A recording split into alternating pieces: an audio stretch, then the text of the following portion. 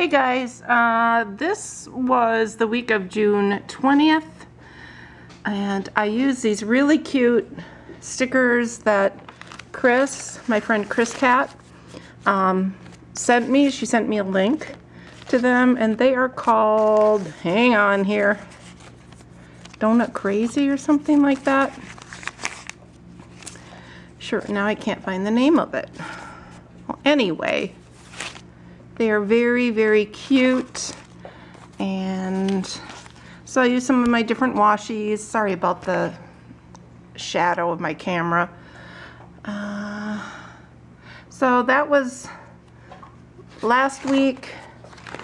And this was this week, and it's pretty much just all of my uh, post-op appointments. I go again tomorrow.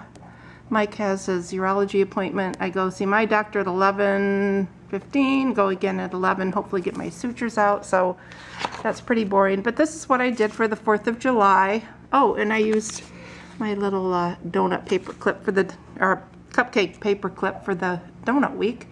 But because it's uh, Independence Day on Monday, I'm sure I'm not the only one who's going to be using these colors. And these are the stickers I had gotten at Walmart. Really like them with all the fireworks.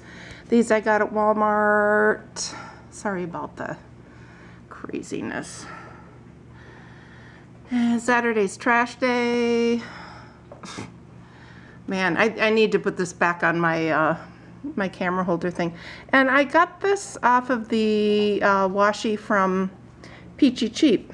And I thought it was really cute and festive, so I just threw that in there too. So anyway, that's that week. I have my annual exam. Juno gets her shot on Tuesday. Boy, this is really bad.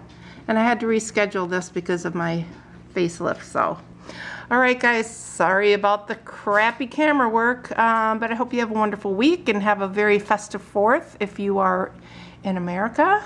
And I will just talk to y'all later. Love you. Bye.